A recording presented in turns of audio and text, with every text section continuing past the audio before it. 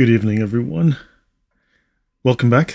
Thanks for being here. Of course, I need to run my checks.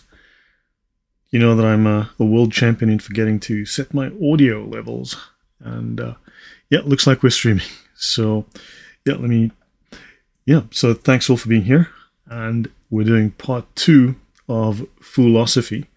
We're discussing materialism, which, as I've mentioned, is scientific paganism so much of the Enlightenment thinking, much of the philosophical thinking that drives atheism, and they base themselves upon this Enlightenment heritage, which is a resurgence of pagan thinking. Um, historical Christianity, hey, good to see you. Great to have you. Yeah. And we're going to look at how these ideas are pagan, they are not scientific, they are an ideological position which is incoherent, it is irrational, it is by no means scientific. Stealth Mongoose, villainous, good to see you. Great guys.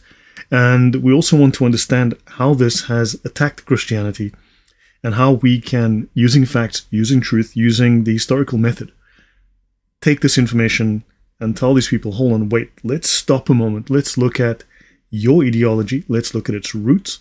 Let's look at its implications. And of course, towards the end of this, we're going to look at the moral implications of this because this is corrosive. It is an acid that destroys society, it destroys rationality, and it destroys morality. So, Joel Thomas, things are well. Thank you. Good to see you. Um, and Horse, of course. Good afternoon. How is it? Louisiana, is it? Yeah. Um, yeah. So, let's jump into this one. So, yeah, guys, thanks all again for being here. It's pretty cold. It's below zero here in Warsaw, Poland. Um, in Fahrenheit, that's about six feet three inches in temperature, and um, but in Celsius, uh, human, it's it's below zero right now. It's been snowing, and uh, yeah, it's cold, it's dark, but it's been a good day. So, um, yeah, please, if you do like this content, do like, do share it, uh, do subscribe to the channel. I've got a large number of viewers that are actually not subscribed. So, villainous, I hate you. If I was home in South Africa, it's fantastically beautiful summer right now. I'd be lying on the beach, taking walks in the mountains, having barbecues at night. Here I am, just, yeah, trying not to freeze to death. Was, anyway, so um, yeah, lots of you are not subscribed. Uh, please do subscribe. Do click the like button. And also, I do not monetize my shows. I run no ads. I hate them as much as you do. Um, YouTube is ridiculous about that. So yeah, if you'd like to consider supporting the channel, uh, links in the description below. But let's dive in. we ended on this slide. Looked at salvation by faith alone. Well, we looked at um, soteriology, right? The doctrine of salvation. So let's continue. Right, so let's go to the next slide. And this, oddly enough, this comes from the Encyclopedia of Occultism. And we want to look at how they take Christian ideas and how they modify those ideas, how they misrepresent them or borrow them for their own purposes. Unfortunately, as my grandfather always bemoaned, one can lead a horse to water. Yes, my grandfather used to say you can lead a horse's ass to water, but you cannot make him think. So, what can you do? But we try our best, right? We we are battling, we're trying. South Africa's only good if you if you're inside the barbed wire encampment, though. Yeah, yeah, yes, villainous. It's pretty bad. Sandra, welcome. Good to see you. Um, okay, so this word cosmos, right? So we have two radically different worldviews. Atheists always deny they have a worldview, but they do have a worldview. That worldview is materialistic and it has certain outcomes. Maggie's Ace, welcome.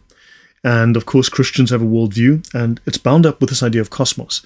You have this idea of an optimistic cosmos, designed, purposeful, made by God who cares. And then you've got this opposite, pessimistic, nihilistic idea of a cosmos which is purposeless, a cosmos which is random, chaotic, and there's a God or no God that cares.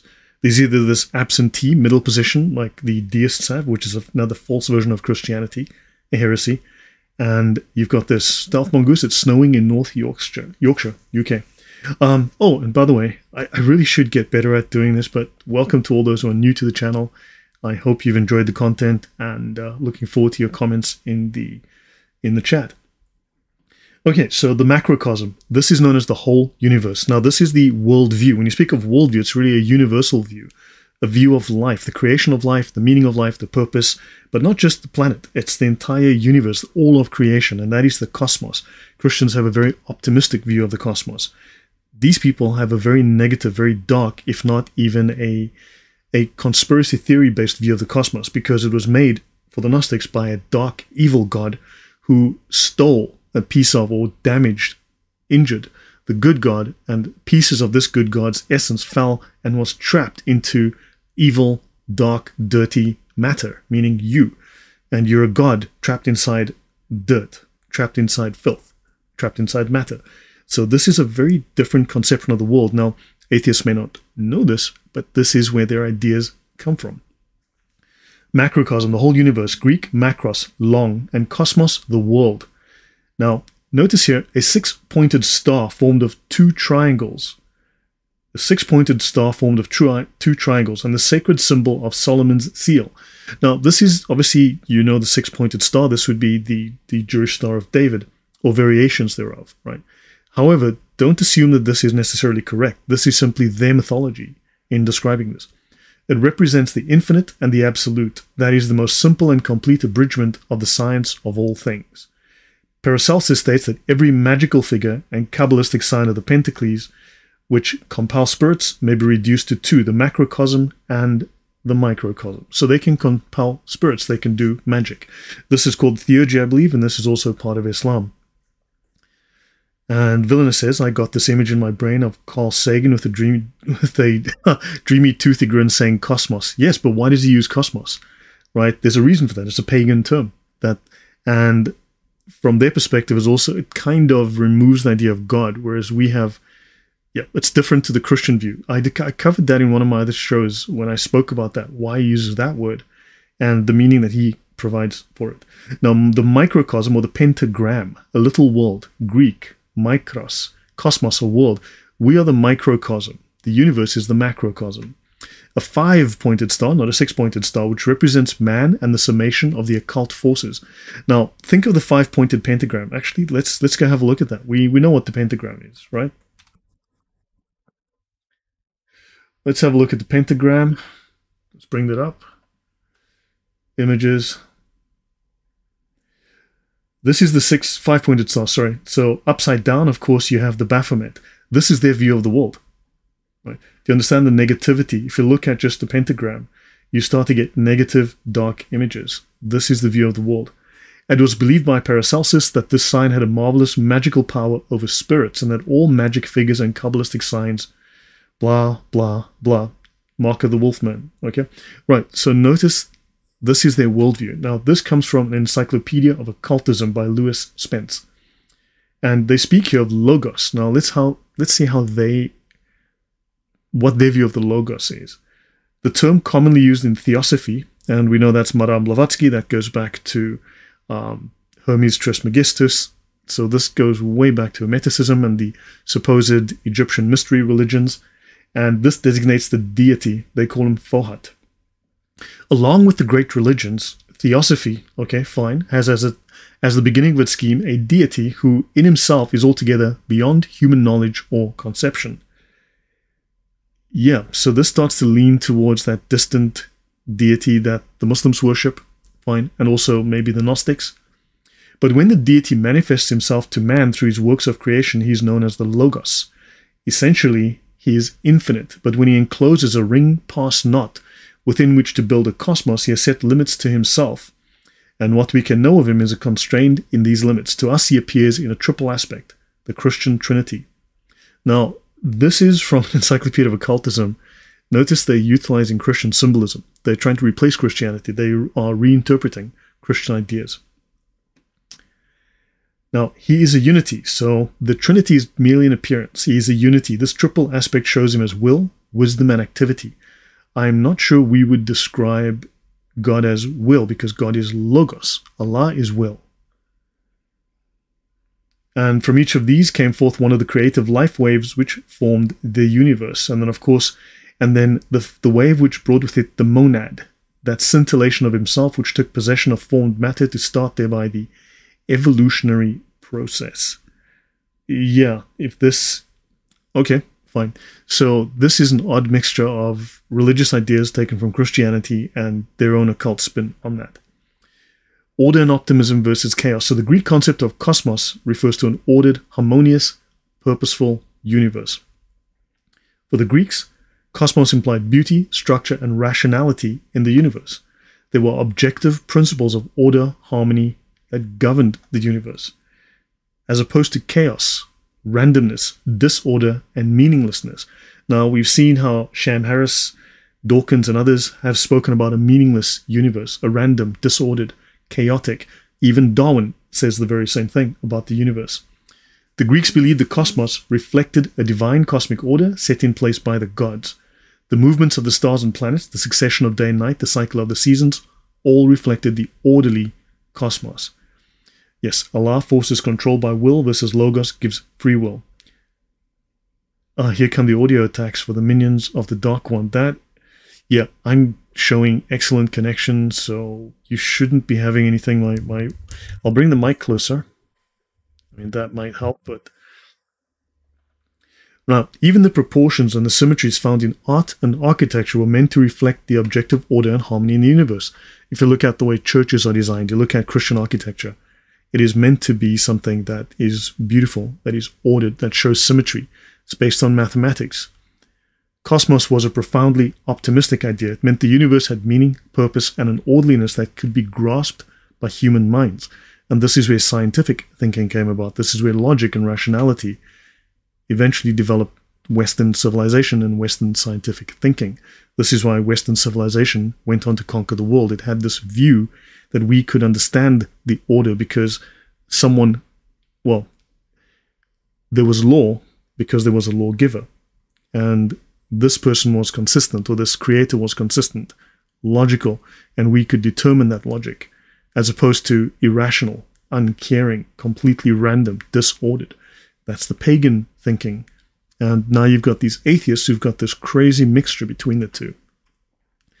Yes, Peter Foley, that is correct. The rings they jump through to deny God and the judgment.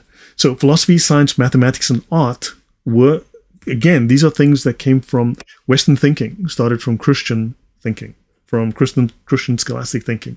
There were attempts to understand and embody the cosmic order of the cosmos.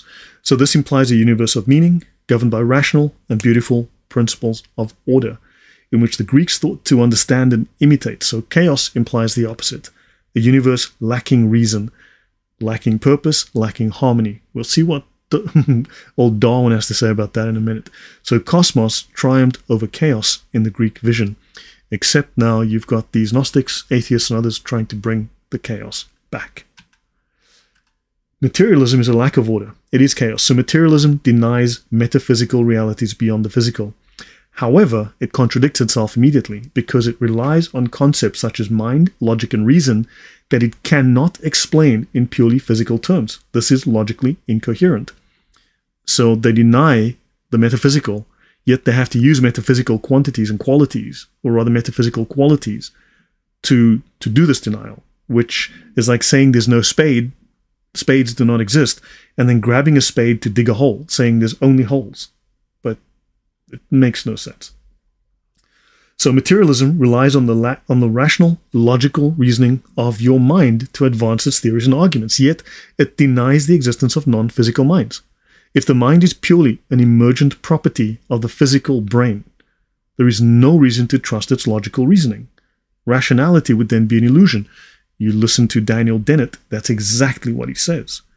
That consciousness is an illusion so if what they state is just based on illusion, there is no reason to grant it any kind of validity. The laws of logic are themselves metaphysical. They are not matter extending into space. It is not this cup that I can do this with. It's not. So logic doesn't exist according to them. So materialism, however, denies the existence of metaphysical realities. So they are denying the things they are using to prove the position that they are taking. The logical principles of non contradiction and the excluded middle, which are two of the three um, laws of logic, the basic laws of logic, for example, are not physical entities, yet they are necessary for rational discourse and scientific methodology. How can they claim to be scientific when they deny the foundations that science is built on? Materialism cannot account for the metaphysical laws of logic. Oh, your sound is great. It's the net here in Louisiana acting up. I'll reload. Okay, yeah, I had major. I was going to do this on Tuesday, but we had snow and uh, bad weather, and the, the, internet was bad the whole day. I had to constantly, even the mobile network was unreliable. So I had I had severe internet dropouts all of Tuesday as well.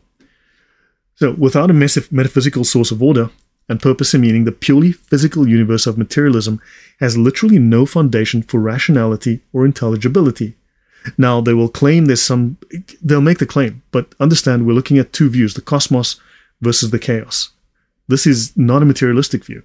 The cosmos has a metaphysical viewpoint. So, cosmos implies an orderly, harmonious universe, and chaos implies randomness and meaninglessness. Which one is closer to the Christian view? Now, strict materialism leads to a chaotic, meaningless universe without purpose or transcendent order. This also leads to an irrational, pessimistic universe, which follows. So, this pessimism follows from the meaningless, purposeless universe of materialism. If there is no transcendent source of meaning or value, and all ends in physical annihilation, then nihilism is the logical result. There is no ultimate purpose. An orderly, purposeful cosmos provides an optimistic framework for the meaning, ethics, and purpose of life. By the way, this is available on my Ko-fi store. You can purchase this there if you like on my Ko-fi store. And uh, the link is on the screen below. Support me at ko-fi.com. And um, yeah, so this this little asterisk means that I've got notes in my um, PowerPoint that, that expand upon this. Now, materialism cannot explain the ordered finely tuned universe that we observe, nor the existence of objective moral values. Nor can it explain consciousness, free will, and other realities that point to a transcendent source of meaning and order, because they claim that your consciousness merely arises from dead matter. Somehow, atoms knocking together, chemicals sloshing together in your brain, this creates consciousness. But of course, these atoms are working according to physical laws, right? It's like billiard balls hitting each other, and they are simply obeying physical laws of cause and effect and there is nothing metaphysical about them, nothing beyond the physical, and therefore you have no free will. You are simply reacting the way a billiard ball does when one ball hits another. That is not an act of free will, that is merely a transfer of energy. So, yeah, and even there they can't agree, but that's we'll discuss that another time. Now, the cosmos implies a rational power or being that creates and orders the universe, something that materialism lacks. Summary Materialism is logically incoherent. It fails to account for the very rational and ordered universe, universe that its proponents inhabit and that they rely upon in their arguments. So everything was a cosmic accident. Everything is perfect by accident. I've never seen that happen. So it leads to a pessimistic philosophy that should produce an irrational, chaotic universe rather than the orderly cosmos that we experience. So they need to claim there's some base laws or constants, but they cannot explain where those come from if all is purely material. Yeah. Correct. Or now, an uncaused cause. Now, this is from the Oxford Handbook of Late Antiquity. We're going to look at what Plato has to say. Now, we do realize Plato has these very dark side, and in some cases, for in our terms, he's a little bit all over the place as well. But so Plato has a top-down approach, a top-down view, right? And with so for him, he's also so these Gnostics or these pagans have this irreducible principle that is the atom, and these atoms connect together on the basis of shape or whatever it is, and they produce more complex things. And once there's a certain level of complexity, you have consciousness. Fine and well. Plato has a also an irreducible view, but he comes from the top down. And this is what he calls the intelligible rather than the material. So the universe, the cosmos, is an intelligible unity. It's, it's an understandable unity. We would call that God, right? And since it is evident that this intelligible unity could not emerge on its own or as some emergent property of matter, in other words, if God is a product of the universe, that means it is emergent from. So it is Therefore, it is inside the universe. It is part of the universe, created by the universe. It is just another creation, just another creature. It doesn't stand outside the universe. It is not independent of the universe. It did not create the universe. Then that would be pantheism, right? That's that would be that view. Plato is telling us this could not emerge on its own. It's an uncaused cause, which is, of course, the Thomas Aquinas view. where some emergent property of the parts it unifies, cosmic unity itself requires a cause outside itself or its parts, a prior principle of unity. So Plato, in this case, goes against these rationalists. Plato goes against these materialists, these pagans, in that sense. Which is interesting how they particularly pick and choose and don't examine the rationality of their position. So on the one hand, they'll, they'll adopt Plato, on the other hand, they'll kick Plato right under the bus immediately when he doesn't suit their particular view. So that's why they need to invent the multiverse to keep the chaos while observing order. Yeah, well, the simple answer is that this happens to be the multiverse that contains God as the creator. That's the multiverse we're in.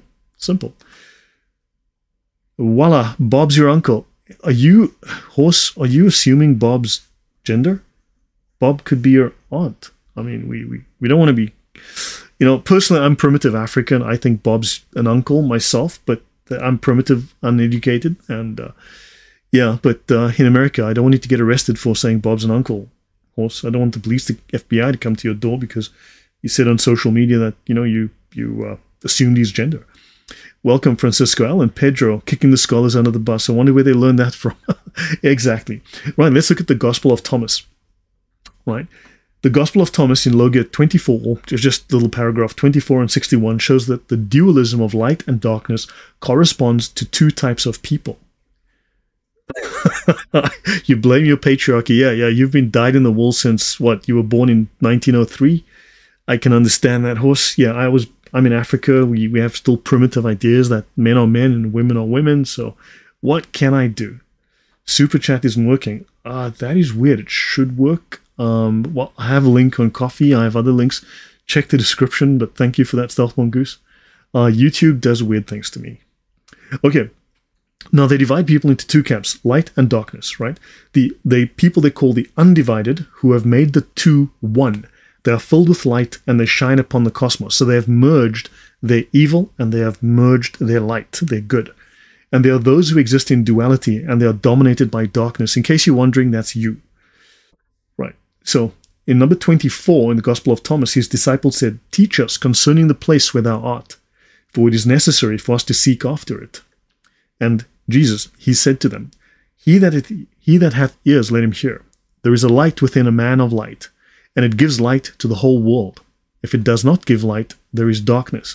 Now, I want you to think this is Gnostic saying, well, you know, we have the Holy Spirit. Let's put it that way. Try to try to work along that sort of idea.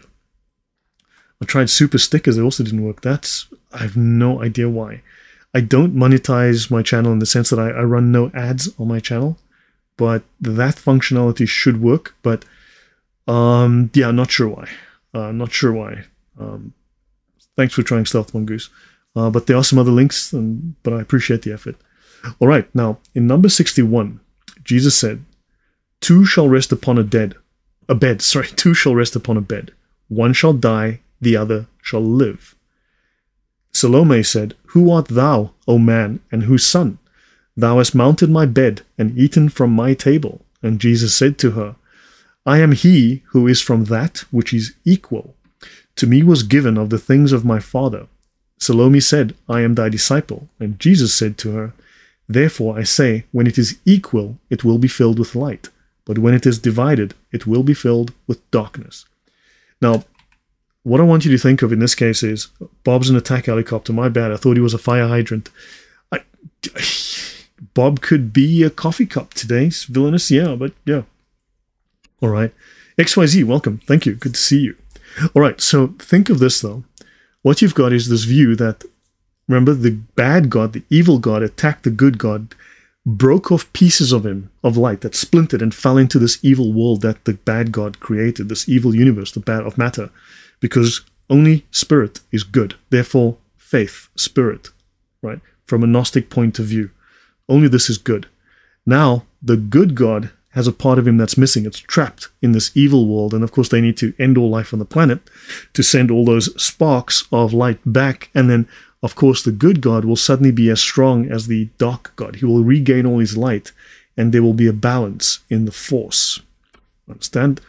So now these people have merged because there's no such thing as bad and there's no such thing as good. They're just balance. They're just equal harmonies. There's no such thing as evil. It's just, you know, it's just good and evil are just both sides of the same coin. That is not the Christian view, that is the Gnostic view. This is what's implicit here.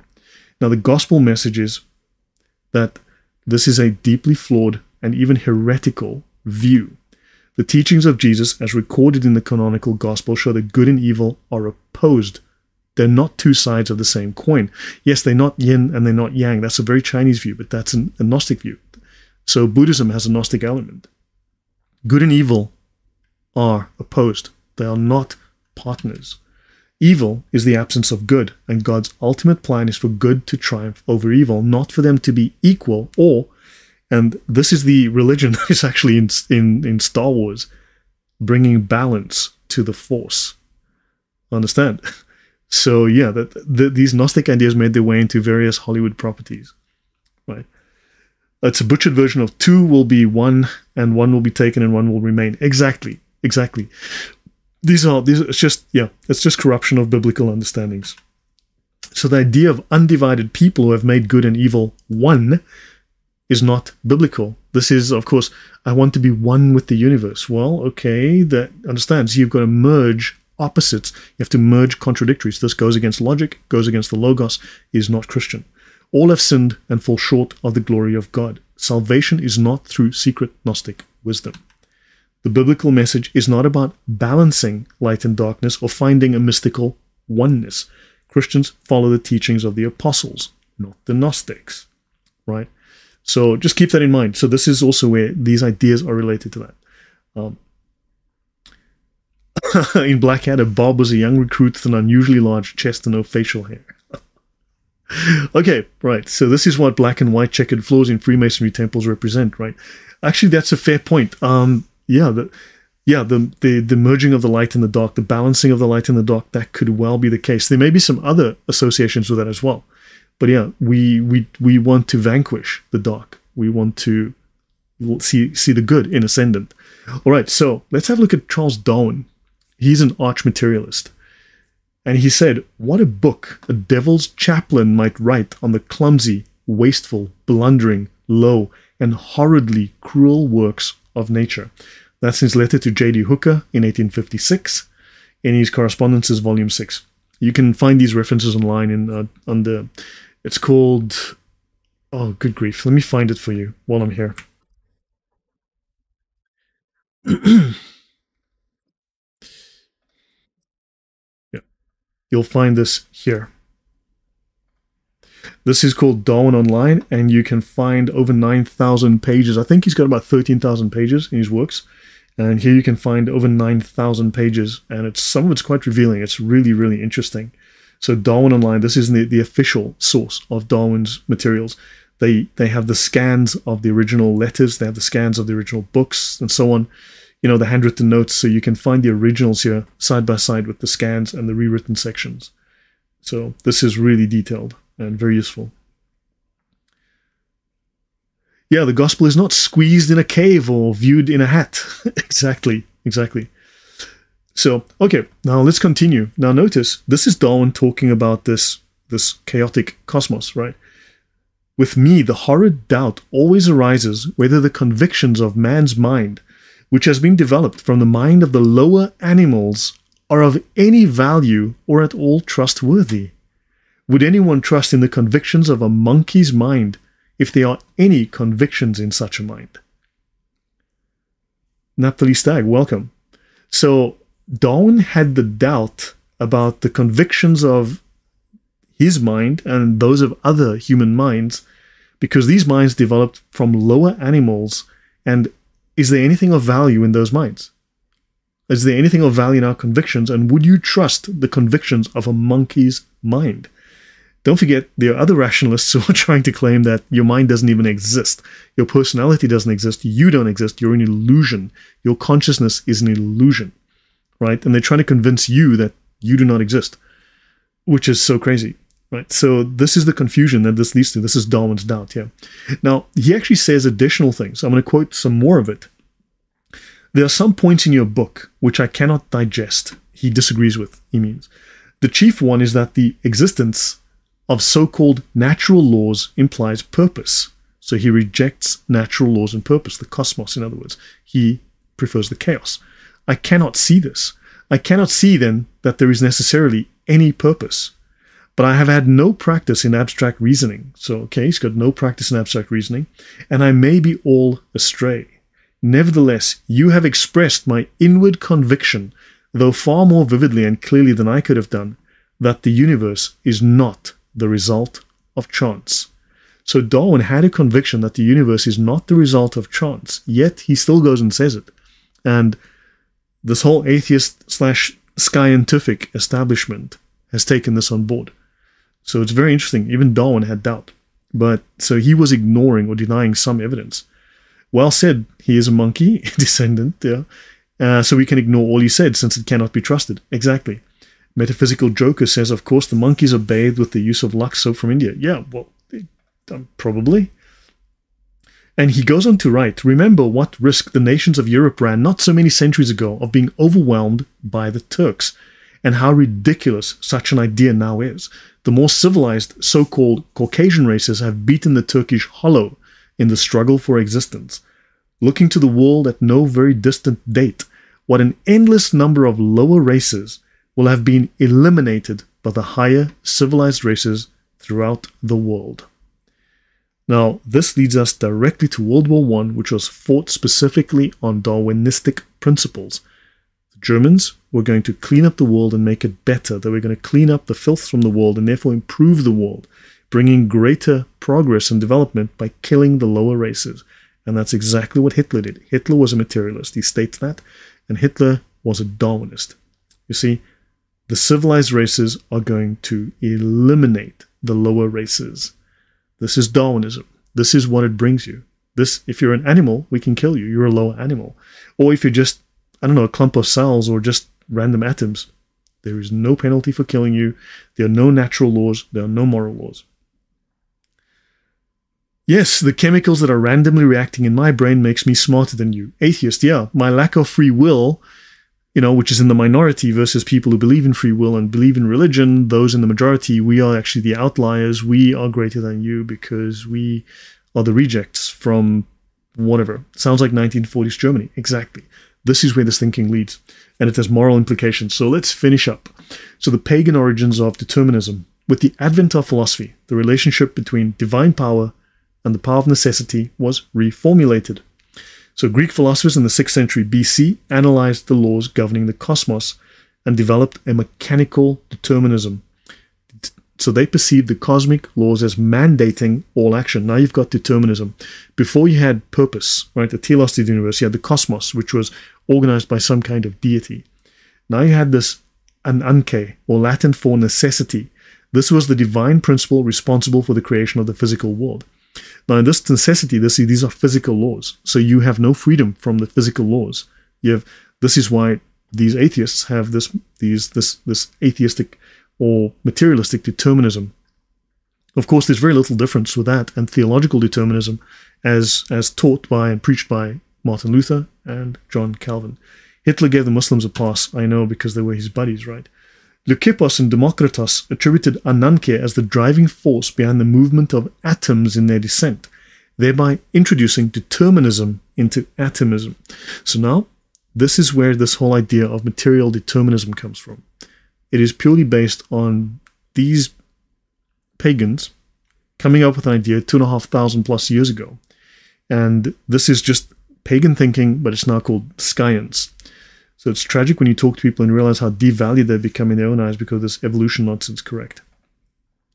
I've got a series on Darwin, and that explains a lot of, well, all of Darwin's nonsense.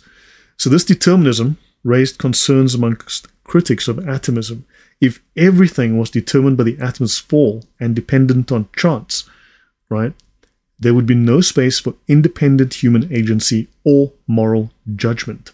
So this removes human agency and moral judgment and individual actions would merely be governed by the atoms. Isn't that right, John Calvin? John Calvin merely applies this as a theological force, as a right. He just calls it God, but this is not the God of of Christianity, of Orthodox Christianity. So Plato associated necessity with fate. Aristotle made a distinction between what he called bia, an external force that stops a body from achieving its purpose, and physical, logical, and metaphysical ananke, necessity. The Stoics, they saw physical necessity similar to our understanding of natural laws, but they try to avoid strict determinism. So these are the different metaphysical positions or philosophical or theological positions held by these people back then. Now, to uphold moral responsibility and the belief in a benevolent deity, the Stoics also separated Heimarmene or destiny from Ananke, right? Because now they're trying to say, look, this is kind of irrational. We need to find a way to look at these metaphysical qualities. Do we have a benevolent deity? Do we have purpose? Or is there lack of purpose? How do we find a middle way? Hello, Barrington Bennett. Now, God respects our free will. I've got 12 more slides or 13 more slides to go. So in Christianity, God is the creator of all things, including the physical universe and the laws of nature.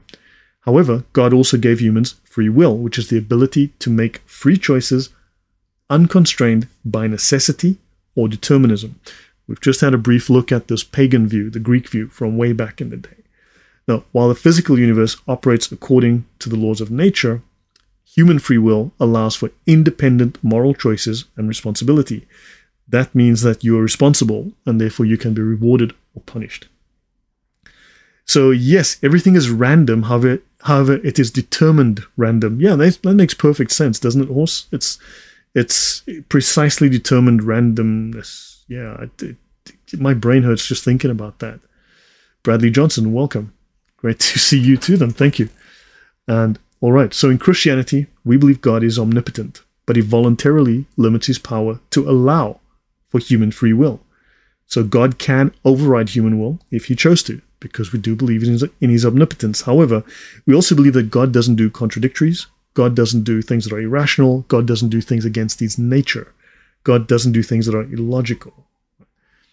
Now, God allows humans freedom to accept or reject him. Necessity and determination or determinism are subject to God's will.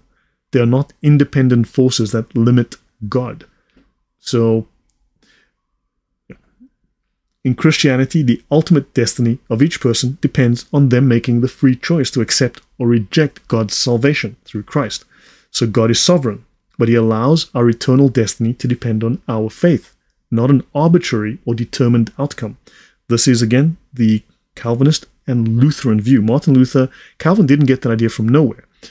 He got it from Martin Luther. Martin Luther got it from the 6th century where it was condemned by the Catholic Church. It was called the predestinarian heresy. Those idiots got it from the Gnostics, who got it from these fools.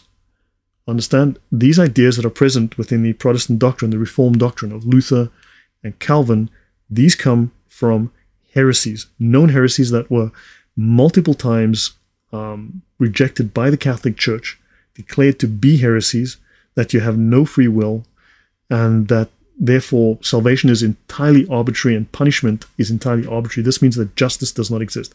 It denies the part of God's character where He is just. He punishes the wicked, He rewards the good. If you have literally no control over what you do, how can you be guilty? How can you be rewarded? It was something beyond your ability completely to control. Right? So, now, the future is open and undetermined until we make our choice. That is for us. God stands outside of time. God sees all our choices. He allows these choices. He knows these choices. He stands out of time. Time was created when God made the universe. Before that, there was no time. God existed in the eternal present.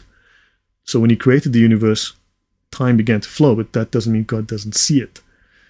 Now, in Christianity, God does not operate based on arbitrary chance or randomness. People make choices and God rewards or punishes.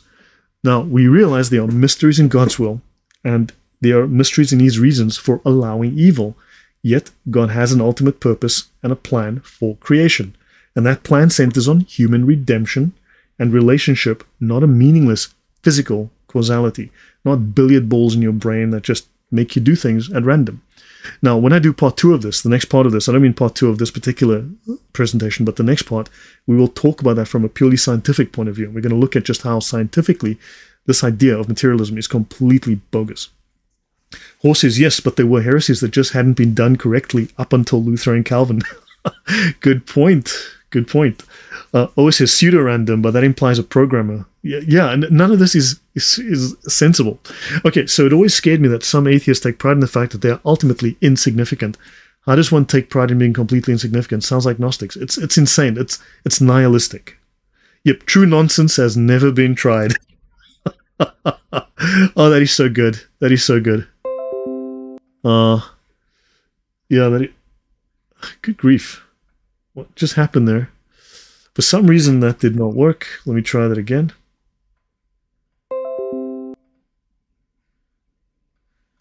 Yeah, that was brilliant. Yeah, true nonsense has never been.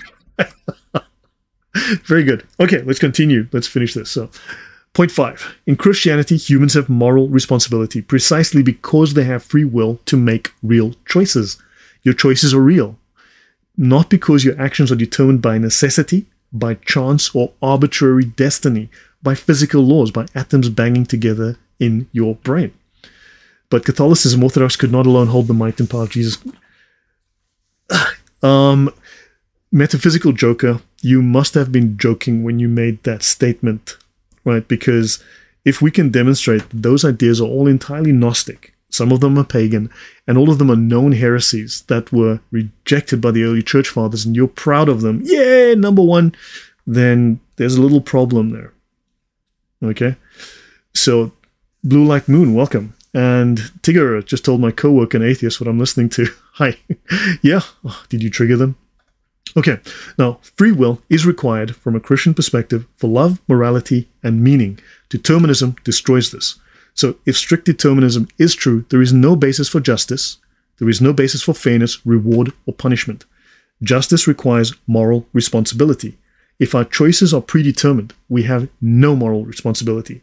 We are just acting as programmed or necessitated with no free choice. I mean, what is necessitating us? What is this thing that's necessitating us, right?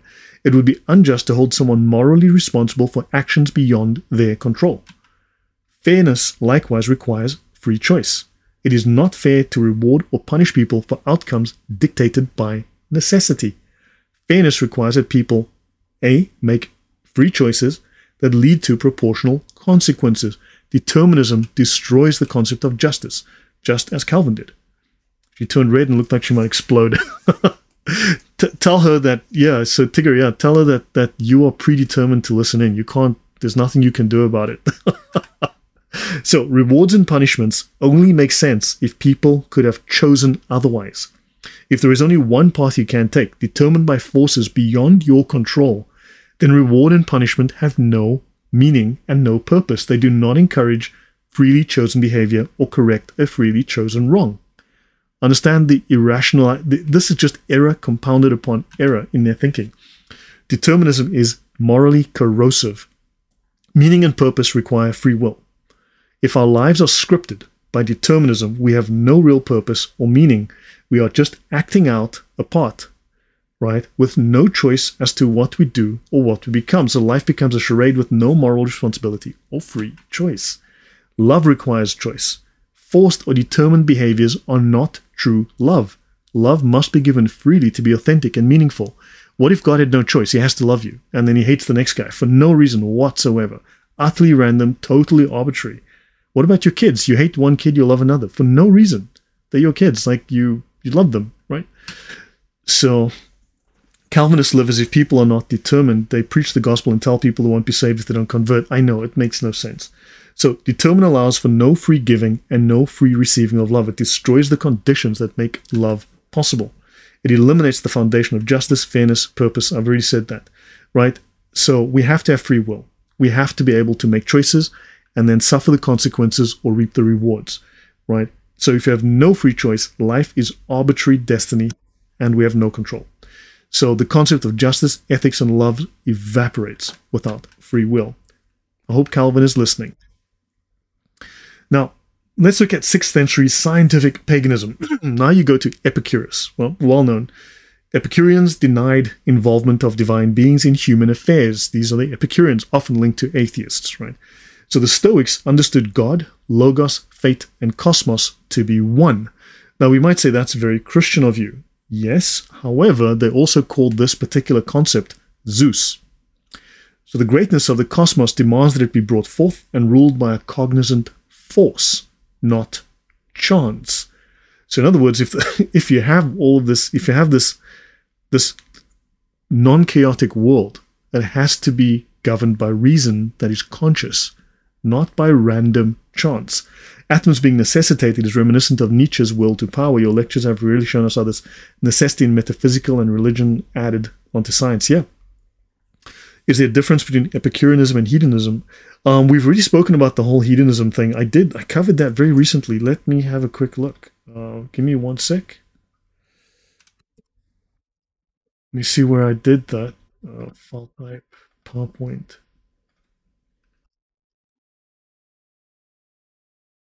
Yes, I covered it in part one. it's in my atheist philosophy talk. Uh, let it load, give it a second. It'll find the reference. I covered it in this talk, hedonism. Yeah. Uh, let's see. Determinism is an unjustified extrapolation into the future of an observed fixed past, but God has given choice into the future. Yes. Um, every knee will bow, and even those that don't will probably be broken to be bowed. Yes. So the only recourse then would be to embrace a writer to go that we are like a book that. Sorry, I don't follow you, 08 Actually, I'm not following you. So in practice, determinism collapses faster than a house of cards blown to the wind. Yeah. Now, the Stoics, they faced logical, moral, and theological problems. Even they realized that their position was potentially incoherent. Even they realized they couldn't fix these theological problems based on their the stance they'd taken, the, the, the philosophical position they'd taken. And they had a problem reconciling their belief in a predetermined course of events with their commitment to the unity and cohesion of the cosmos and its all encompassing reason. How can you have predeterminism when you've got a guiding force that is conscious? That's God or Zeus. So does did Zeus just make a cartoon that's just playing out? Understand? So they realized even their view was incoherent. Now, as the world and everything in it, including humanity, is brought forth by God, it and everything in it is imbued with reason, the logos. Now, this is the this is of course the Stoic view. And pneuma Okay, so it is imbued with logos and pneuma, we'll define that later, and has part in the divine. So the deterministic notion of fate, as it was developed by the Stoics, is based on their particular cosmology. Posidonius added the influence of celestial bodies on human fate. So now we're talking about astrology from another pagan Greek, and he goes, "Hey, I got, I'm a pagan. I've got these wonderful ideas," and now it became science, right? And of course, it became very popular astrology, right? So there is no uniform fate doctrine, but the Stoic definition of meme is that of an uninterrupted chain or network of causes, a causal determinism. So they're still determinists, but yet they want to claim that there's a God that watches over things and created things. It describes a closed system in which everything has its causes in that which precedes and affects it. So we do believe in cause and effect. We also believe in chance. We also believe in choice. Now, this bears on the question, of course, again, of moral responsibility and what's called theodicy. Let me go have a look and check that term. So, let me just bring this up.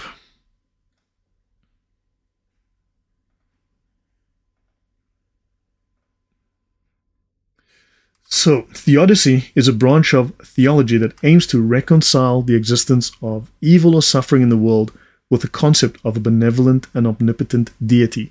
Now, the problem of evil, this is a major argument used against Christianity, used against the existence of God. Evil exists, therefore God doesn't exist. Okay, water is wet, therefore dogs don't exist. Uh, my cup is empty, therefore Starbucks is closed. My battery is flat, therefore Apple computers don't exist. Those two, that's a non sequitur. It doesn't make sense. The evil exists, therefore God doesn't exist. Okay, uh, no. All right. So this tries to answer the question of how a loving and all-powerful God can allow evil to exist and why suffering is a part of human experience. So theodicy attempts to provide philosophical or theological explanations and justifications for evil, often considering factors like free will, moral responsibility, and the greater good. Be careful of this term, the greater good. This very much is a Gnostic, atheistic, socialist Marxist view of things. This is utilitarian philosophy. And I covered this in my atheist series and socialism series. Socialism series. It depends who defines that greater good. And of course, you end up with evil.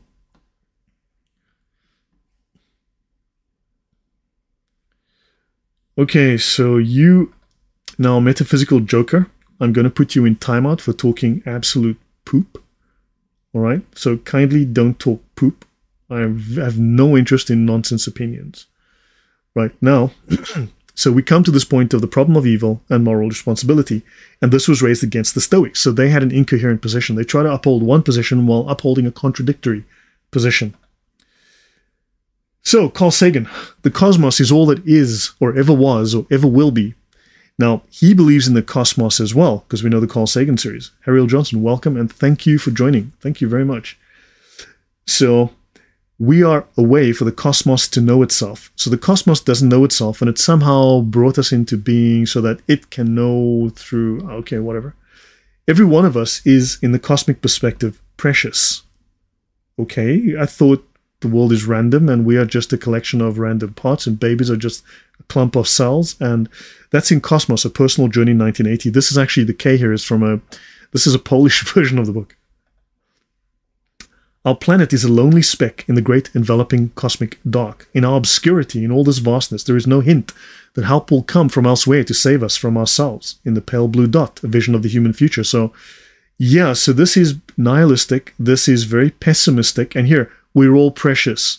You're so precious. Uh, yeah, but you are obscure. You're a lonely speck. No one's going to help you. You're alone. Get lost. No one cares. You're precious, though. Um, okay, thanks, Carl. You're making a lot of sense here. Christianity may be good and Satanism evil. Under the Constitution, however, both are neutral. Okay, thanks, Carl. Maybe you should shut up by now. Just stop speaking because just making it worse, Carl. This is an important but difficult concept for many law enforcement officers to accept. They are paid to uphold the penal code, not the Ten Commandments yeah, at some point, and he talked about the U.S. Constitution and America that was founded as a Christian nation. The fact is that far more crime and child abuse has been committed by zealots in the name of God, Jesus, and Muhammad that has ever been committed in the name of Satan. Um, Carl, you really need to get your head out of your butt. Many people don't like that statement, but few can argue with it. Yeah, we've looked the fact that people don't say I'm doing this in the name of atheism doesn't mean that atheists don't do things because of atheism. Like the French Revolution, they did it in the name of atheism. So yeah, this is Carl Sagan, great thinker, great thinker, smart man. Then science came along and taught us that we are not the measure of all things. Hold on, now he's going against the whole materialistic position, going against the atheist position. Man is not the measure of all things. Okay, that's fascinating. The universe was made for us. We long to be here for a purpose, even though despite much self deception, none is evident. So we want a purpose, but there's no. We're deceiving ourselves to think that the universe is made for a purpose, and there is no purpose that is evident, and the significance of our lives and our fragile planet then is determined only by our own wisdom and courage. So now we are the measure of all things. We are the custodians of life's meaning. We are the measure of all things. Okay, I thought we're not, Carl. We long for a parent to care for us, to forgive our errors, to save us from childish mistakes. But knowledge is preferable to ignorance, okay? And Gnosticism and complete random trash information is also good, Carl. Better by far to embrace the hard truth than a reassuring fable. If we crave some cosmic purpose, then let us find ourselves a worthy goal. Marx found it called socialism led to gulags and like 60 million dead at minimum. Mao, his own 60 million dead. And of course, you've got um, Hitler and others that found themselves a worthy goal. Thanks, thanks, Carl. I guess, okay, fine. Carl Sagan, everyone. Carl Sagan. Smart guy, smart guy. And Carl Sagan then tells us an atheist is someone who is certain that God does not exist. He defines atheism correctly, my golly someone who has compelling evidence against the existence of God. He's telling us that atheists know God does not exist because they have evidence that convinces them so. And Carl says, I know of no such compelling evidence. Okay, Carl, I thought you were. I am confused now. Are you as confused as I am? And this is in Conversations with Carl Sagan. Okay, this is his book here. Because God can be relegated to remote times and places and to ultimate causes. We're back to ultimate causes now we would. And I thought there was no cause. Hold on, I thought there was no purpose. I thought he. What? Carl, I'm confused. We have to know a great deal more about the universe than we do know to be sure that no such God exists. contradictory to say the least. How confused was he?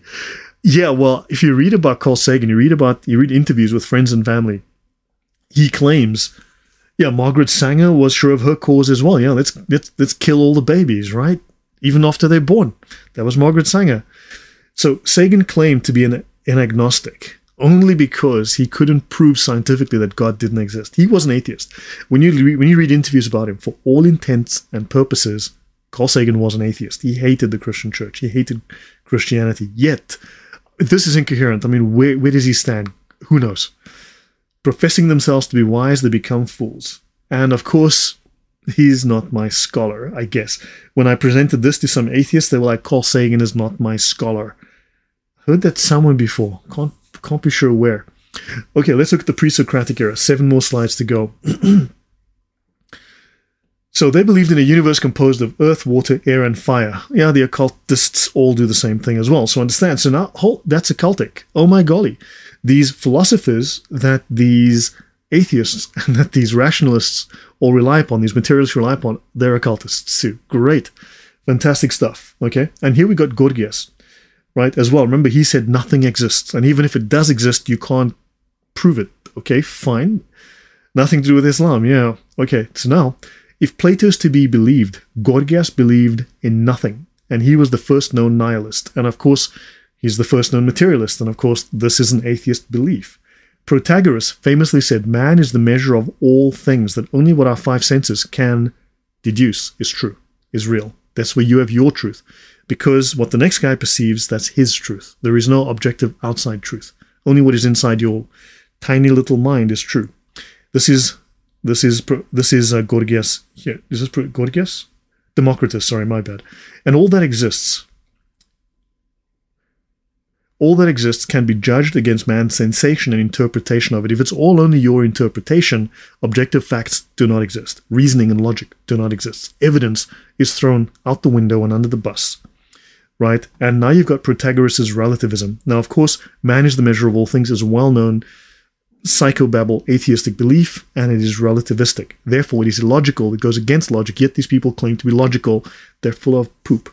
I hope you can see that this makes no sense. This is just this is just pagan philosophy. It's not even philosophy, it's it's just error. It's just stupid. Right.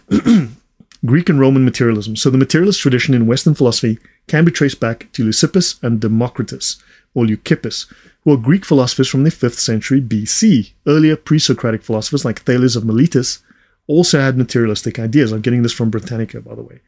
Democritus, influenced by Leucippus, believed that the world is made up of indivisible visible particles called atoms in empty space. In other words, physical matter, little balls in space.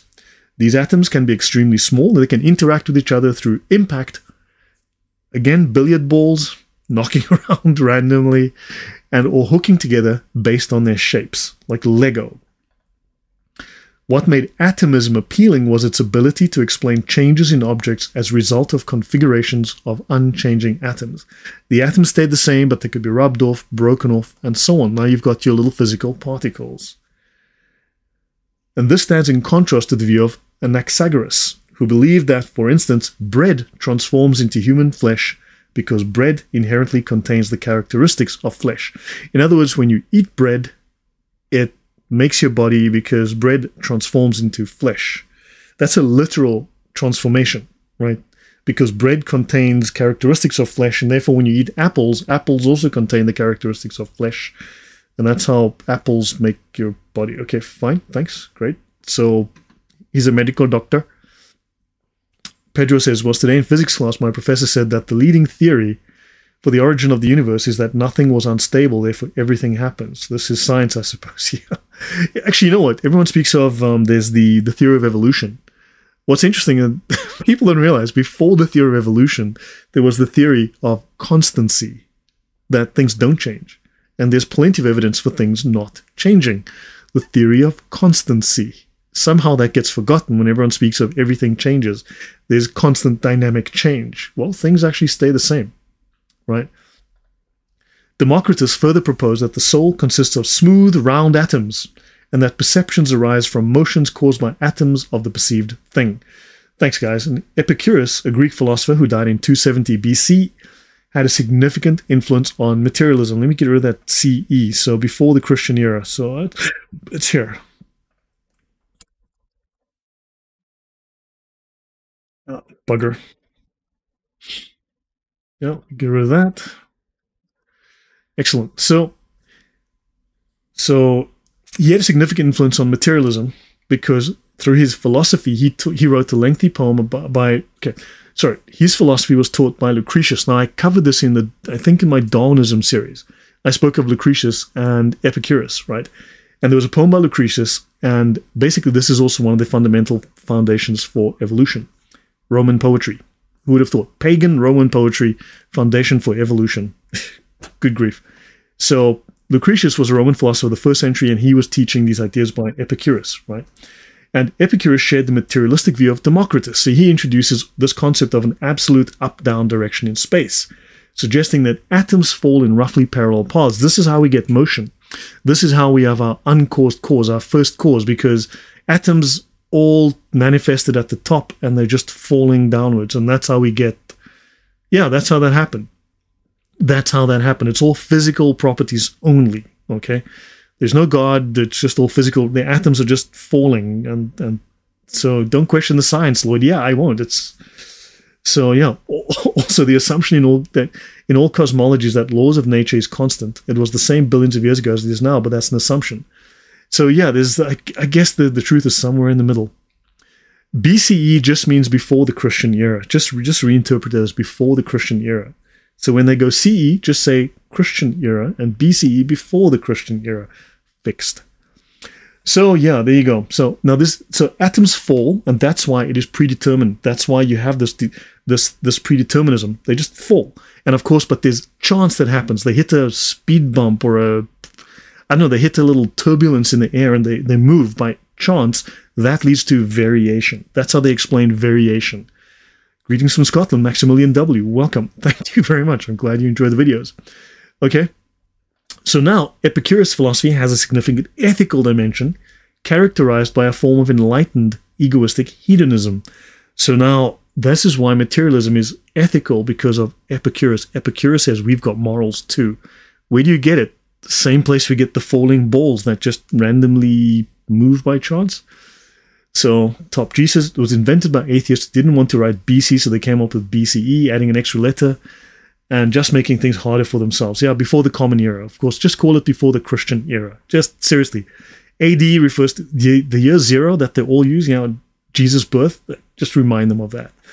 Okay, so this refers to a philosophical position that combines elements of self interest, pleasure, and a supposedly more enlightened or thoughtful approach to life to seek personal happiness and well being, while also considering the well being of others and the harmony of the community.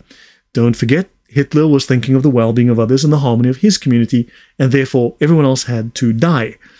That was Hitler with his enlightened, egoistic hedonism. Of course, Charles Darwin said that when the civilized races kill the lower races who are lower animals. We are making life better. We're bringing better life. It's kind of we're just we're just kind of cleaning up the bloodstream here. We just you know cleaning up the gene pool a little bit. We're making things better. Yeah, that's that's uh, enlightened egoistic hedonism because this is for the well-being, for the good of all, for the good, for the greater good, for the greater good of the world, the greater good of life, the greater good of the harmony of our. Do you understand how this is actually just evil dressed up to sound pretty? So you need to see here a secular humanism, utilitarianism, existentialism, and secular Buddhism. Yeah, Buddhism as well. Sadly, but true. Buddhism. So, so there are plenty. I'm not going to go into this. I wonder should I should I mention what these philosophies are about? Do you want me to discuss that, or should I skip over that? Please drop me a one in the chat to let me know if I should discuss these philosophies, what they are, or if I can just ignore these. Okay, I'll give it a moment. so materialists trying to justify morality will always be the funniest thing. Yeah. Okay, I guess. Okay, thanks, guys. Uh, I guess I'm gonna have to destroy my throat. Okay, so there are several modern atheistic or humanistic philosophies that share common emphasis on seeking personal happiness and well-being while also considering the well-being of others. But you see, this is a very this is not a Christian view where you've got this this these absolute moral values. You've got don't forget this is for the good of what is your tribe, your group, right? What keeps you surviving and not necessarily them surviving, right? So these philosophies prioritize human flourishing, right? Darwin believed in killing off the lower races because that would lead to human flourishing, as did Hitler and as, as did the World War One Germans because that's exactly what they believe. They were killing off 30 million people for the good of human flourishing. And they believe in ethical behavior and social justice. Secular humanism, they emphasize reason, ethics, and compassion in guiding human behavior. And that's why they have euthanasia now, you know, so you can get yourself killed in Canada. Because, yeah, you're you lost a leg, you know, you're no good to society, you're a drain, and go kill yourself. All right? That's where that leads to. This is very, very relativistic in terms of its morals. So they focus on ethical principles that lead to personal happiness. That's why we have the rise of people trying to promote um, diddling little kitties because that makes them happy. Utilitarianism is a consequentialist ethical theory that advocates for actions that maximize overall happiness or well being. It's a formula, it's a mathematical theory for goodness. It suggests that individuals should act in a way that produces the greater amount of happiness. Well, you saw the riots that were happening recently, those those um those peaceful burnings and lootings that led to great happiness for many people. That was that was happy, made them happy. There was there's no other standards attached to that, as long as they were happy, right? They were very happy. A great number of people were happy about that. Personal happiness is considered alongside the well being of others and the community as a whole. That's good intentions. And what is paved with good intentions? The road to hell. Existentialist philosophies, diverse, often emphasize the importance of personal freedom. Freedom from what? Freedom to do what? That's Gnosticism. Gnostics claim they just want freedom. Freedom from moral constraints, freedom from the law, because Thank you very much, Ariel Johnson. Much appreciated. Don't forget, men can get pregnant. Yeah, freedom from rules. Yeah, we want to get pregnant too. Anarchy. Exactly, Joel Thomas. These are lovely words. These are euphemisms that hide relativist moralities that actually ultimately are satanic and evil, that lead to chaos. All of these things lead to chaos. They aim for personal happiness and the well being of others. Secular Buddhism. Secular forms of Buddhism, which separate the teachings of Buddhism from religious or supernatural beliefs. Oh my gosh, haven't we seen this before? just secularism, secular humanism. They emphasize personal happiness or well being alongside compassion, mindfulness, and ethical conduct. Secular Buddhists, they strive for personal liberation from suffering. do for me before they do unto me, so blah, blah. I don't want to suffer, so let me kill those people so that we don't have to suffer and they recognize the interconnectedness and interdependence of all things. Fantastic. So, so those are those philosophies. Notice the buzzwords that they use, right? Notice the the appeals that they make. But yeah, eugenics. Okay, so let's have a look. Paganism goes enlightened. Four more slides to go, and we will be done. So, Thomas Hobbes. He's an English philosopher who advocated for an atomistic materialism. Where did we get atomistic materialism? Oh my god, from Greek pagans. Thomas Hobbes, famous philosopher. Very smart man. We need to respect this man, listen to what he says. But hold on, it's merely just more paganism dressed up in scientific, scientific language. So he makes significant contributions to the development of mechanistic and physiological psychology. Your thinking is purely caused by atoms knocking around in your brain. He proposed that sensations are physical movements in the brain, but he avoided the complex philosophical questions about consciousness which of course was followed, which was explored by his contemporary Rene Descartes. So I'm going to be talking about these guys in the future, and you'll realize these people are idiots. Seriously, you look at their philosophy; it is it is based on just dumb thinking.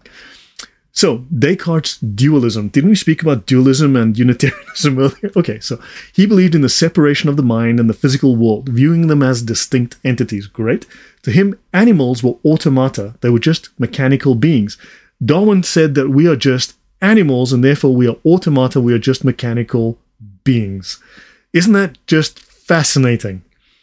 So, now this mechanistic, this mechanistic aspect of Descartes' philosophy was later adopted by materialists in the 18th century, including a guy called Julien de la Mettrie, who applied Descartes' view on animals as mere machines to human beings. Never saw that coming in his work, The Human Machine, or L'Homme Machine, or Man a Machine, the human machine. You're just a meat robot, buddy. so, Ariel, thank you very much again. I do appreciate the support, everyone. As I said, I don't monetize my channel. I don't earn anything on the video views on my channel. Um, last month I had 116%, or rather this month I've had 116% growth in my views. I have had no no extra growth in my in my subscriber count. So while, my views doubled, my more than doubled. I actually, it's weird. People are not subscribing, but thank you. We do need more Lloyds. Yeah, too few Lloyds. Yeah. Thank you. Christianity purges itself from the coercive diddlers, then straight away diddlers are reading stories to kids in public libraries. Coincidence? I think not. Do you know that teachers, for instance, people speak about Catholic priests diddling kiddies, right? The incidence of this kind of crime amongst priests, Catholic priests, is five times lower than the Western social average, right? If you look at where these people, where you find them, is in school. School teachers shag every little kid they can get their hands on right? This is a serious problem in schools. It's a major problem in schools. We should ban schools. I mean, because if Christianity is bad, if a few priests did it, holy moly, do we need to ban schools right now because of teachers who have five, at least five times more of this crime? And then, of course, when you look at the statistics, okay, the Catholic Church is a monolith, effectively. It's one big target you can hit. You look at the Protestant churches, the, the the the the level of crime of kitty diddling is even higher in the Protestant churches. I did a couple of shows on that once. I went through the stats and I showed it. Protestant priests are diddling more kids than Catholics. Just just seriously. But of course, you know, my, my, church is only four people in it, and I'm I'm the priest, and we've never diddled kids, so therefore Protestantism is safe. Yeah, okay. There's like 10 billion Protestants. You're three people, and you didn't do it, so therefore you're a representative sample. Sure. Tell me another good one. I, I stink, therefore I am. Because remember, it's all only about physical properties. I, ooh, I stink, therefore I am. That's how I know. It's not a brain. It's because I, I stink. Ooh, keep those arms away from me. All right. So now, Denis Diderot. I spoke about him in my atheism series. I covered him in depth at one point. He is the chief editor of the 18th century Encyclopédie. He supported a broadly materialistic outlook, by considerations drawn from physiology, embryology, and the study of heredity. And his friend Paul Baron de Holbach published his System de la Nature, whatever, the system of nature. This guy was the first outright Western Enlightenment era atheist. So he expounded deterministic materialism in the light of evidence from contemporary science, because they claim that science supports their views, reducing everything to matter and to the energy inherent in matter. Where do we get the energy? Well, because the universe is strictly up down, as the pagans told us, these 2,500 year old Greeks told us, and the atoms fall down. Okay, but you know, in the universe, there is no down, there is no up in space. So, okay, fine, the stuff falls down, and random fluctuations cause them to swerve, swerve, and then you get you get variation because of random swerves in falling at it. Okay, thanks, pagans. Right, so here we go, right? Moving on. So he promotes a hedonistic ethics as well as an uncompromising atheism. Now, where are they getting the morality from? Why is it always France and Germany? Germany. Is that to say, if I do not think, therefore I am not? Yeah, don't think about pink elephants, top G. Don't think about flying pink elephants. Don't think about, don't think about great steak on a bun. Don't think about that. Then because then you're not. YouTube is clearly fudging the numbers. so okay, so Germany, Hegel. Um, the French materialists of the 18th century were in direct opposition to Orthodox Christianity. Do understand? If you look at my series on the French Revolution, the cult of reason, atheism, the cult of reason, you'll see just how irrational, how violent, how genocidal the the Enlightenment atheist thinkers were, how anti-Christian they were, and they were killing in the name of atheism. So yeah, atheists need to really get their history straight, and this is why they ignore history because history proves how how toxic, how destructive, how evil atheism has been. And especially they hated the Catholic Church. So in the 19th century, a different orthodoxy emerges in Germany, Lutherville.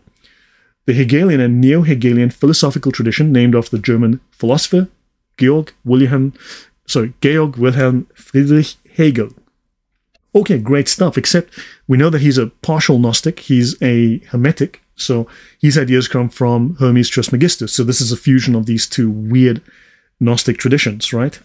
So now this led to a reaction by certain writers, who's with those with backgrounds in biology or medicine. You had Ludwig Buchner and Karl Vogt were among them. And of course, who did this Hegel inspire? Karl Marx. Karl Marx looked at his ideas, his materialistic ideas, and the purpose of the universe, which is based on atoms banging together, leading to a higher purpose. Well, I thought you've got. I didn't realize that that when you leave the universe alone, it actually evolves. I thought it supposedly goes into um, what's that word when you leave something? Um, it it eventually finds rest. Uh, sorry, there's a word, and I last week I forgot it as well. But when you leave something, it tends to eventually um, entropy. It leads to entropy. Somehow these guys are claiming that entropy doesn't happen. You get evolution. You get improvement. How when you leave some, when you leave a loaf of bread alone for a month outside, entropy causes it to rot and to crumble. It doesn't improve. It doesn't evolve into a Porsche or a Ferrari. It, there is understand. So the, already these ideas are incoherent. so Carl Vogt gains notoriety for his claim that the brain secretes thoughts like the liver secretes bile. I don't have control of my thoughts. The brain just secretes them randomly.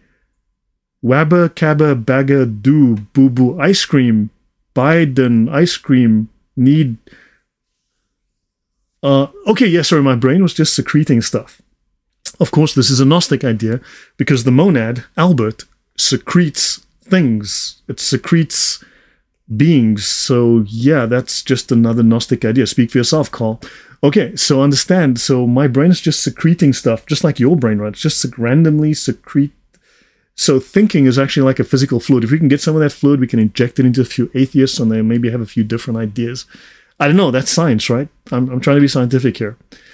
So this metaphor of secretion, previously used by this guy, uh, by a different guy called Cabani, a French materialist of the late 18th century, is of course now considered to be foolishness because it doesn't make sense to think of thoughts as a physical substance.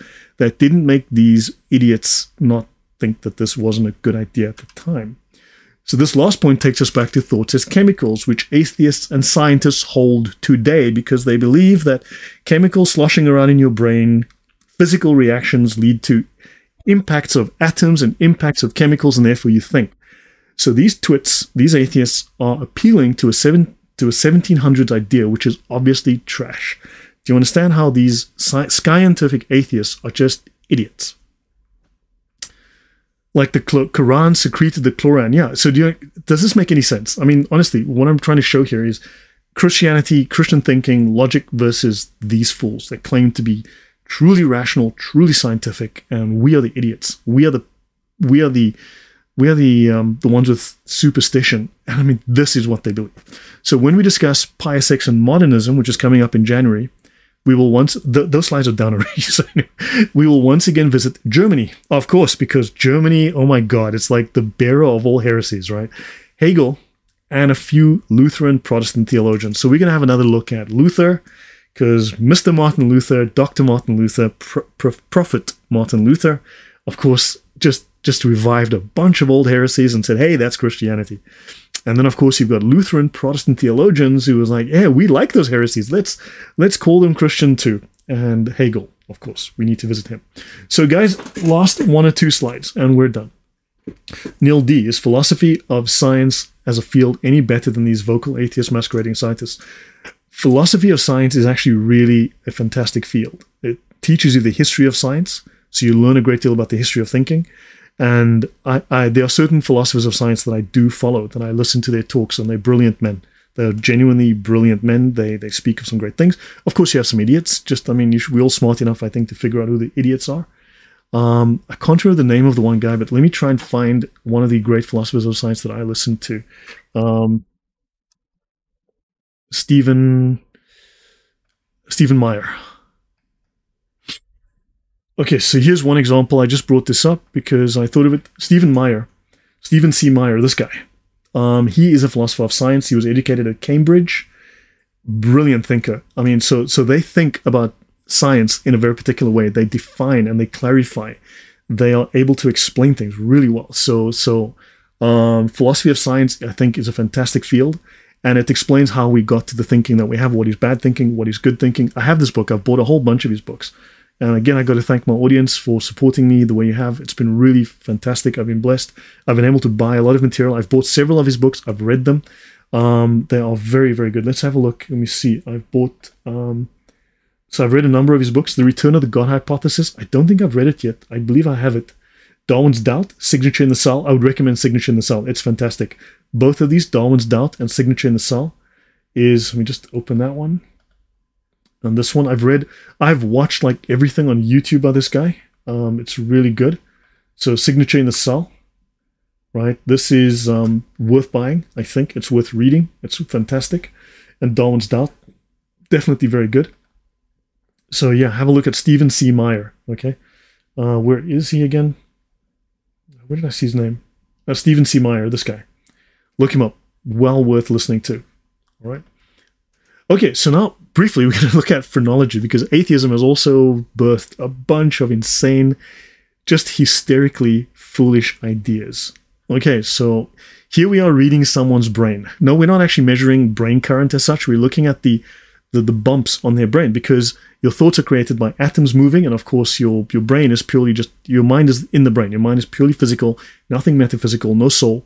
And therefore, atoms moving around, chemicals sloshing around creates your thoughts, right? And therefore, the shape of your brain would have a physical effect. Like if you look at the, the let's say you take a a billiard table, right, pool table. If the table had little bumps and weirdness and shapes in it, it would affect when the ball hit the rubbers on the sides.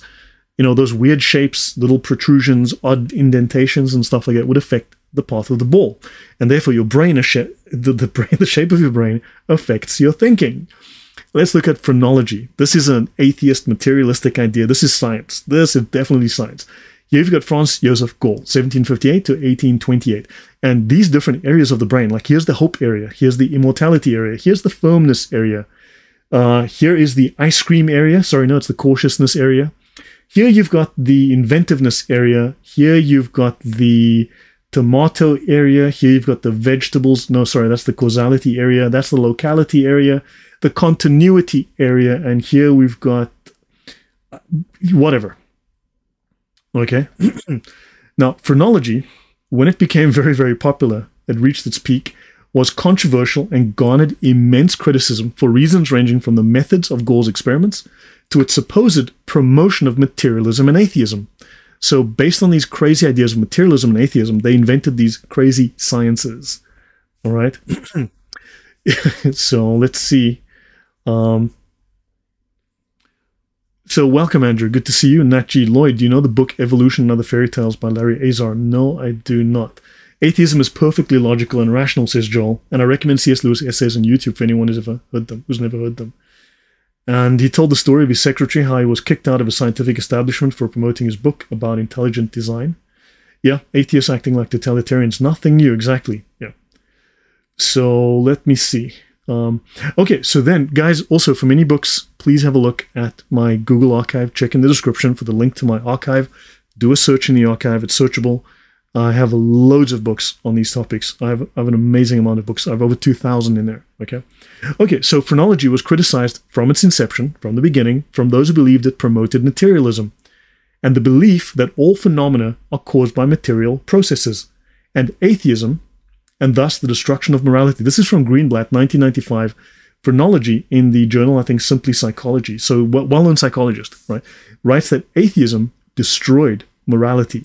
Morality wasn't something that you was objective, something that was eternal, right? Something that was based on a moral lawgiver. But what you had was uh, little bumps in your head that when the atoms bounced against them and the chemicals sloshed against them, you'd have ideas. So this was entirely relativistic. My morality it's not your morality. I can steal your ice cream and lick it anytime I want. Right? I can beat you over the head anytime I want. Whatever. And this is the kind of idea that these guys have. I have the right because it's my morality. Your truth, don't forget, if you take athe- um, the atheist idea and the Oprah idea of your truth, my truth, well, then it's my morality versus your morality. Do you understand where this leads? This is a very bad uh, philosophy. Last couple of slides. So, in a lengthy critique of religion, natural and revealed, the Methodist Quarterly Review scoffed at Fowler's dramatic claims to falter before the void of atheism after having so ardently professed the primacy of phrenological over theological truth. So this, oopsie, so this phrenology nonsense, this touching the bumps on the head and working out who you are as a person and what you believe and how you think and how much intelligence you have, this um, was greater than theological truth. It was a religion. The pictures of one side of the head. Was there ever a picture of the other side? I have not. Probably there was. They had skulls. They had actually. Um, they had these skulls that were made, and then you could see like the whole thing. So they would have both sides. Yeah, they had, but they had these full skulls. They actually had. The, you can look it up if you look up phrenology. You'll see people had their own little ideas, their little diagrams, and they they give you a map of your head, right? And um, they'd show you what's what. But there were supposedly these fixed areas. The good is the good, whatever that good is defined in either way. Yeah, so we believe in God is good. God is goodness. Goodness is part of the nature and character of God. It's not something that's relative. To them, it's relative. But notice this phrenology became greater than theological truth. It was the theological truth. It was a religion, right? So notice here, they speak of here his arrogance, his dogmatism, and his particular theory of the relations existing between phrenology and revelation. Because they were getting revelation. Harold, this is my last slide. I'll be like two minutes and we're done. So yeah, phrenology, touching the bumps in your head. This is science. This led to revelation. Thanks. Thanks, atheist materialists.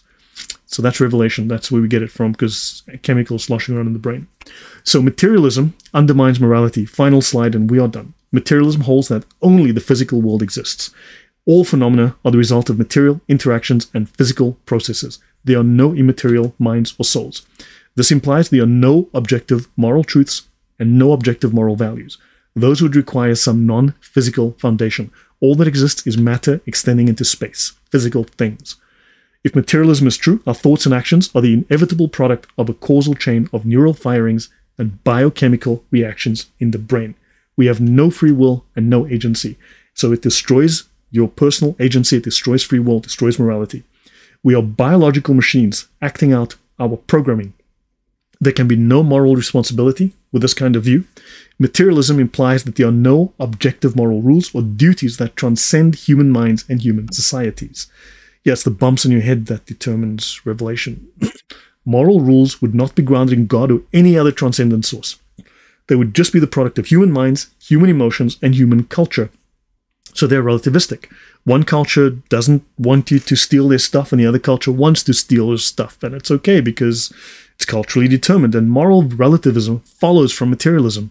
Thus, materialism is incompatible with objective morality and with Christianity.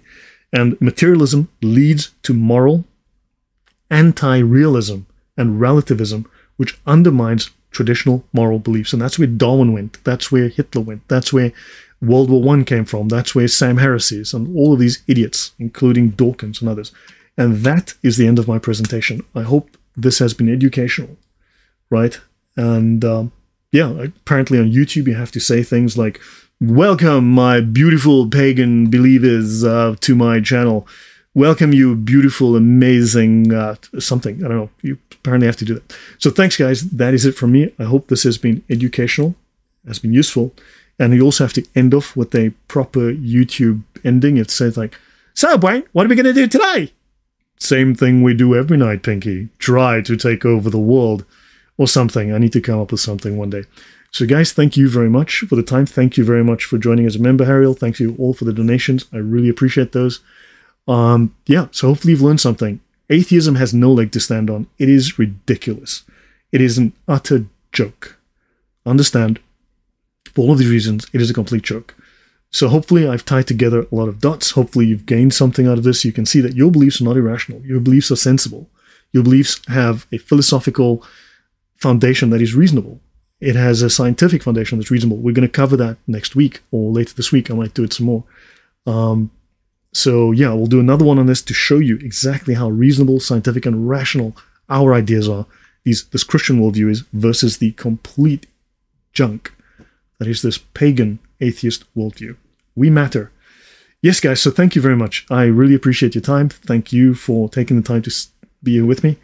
And Lolo Main, welcome. Good to see you. Tom Gyokai, very welcome. I didn't catch every single comment, but I do try. So, guys, thank you very much. Good night. God bless. And I will see you guys soon.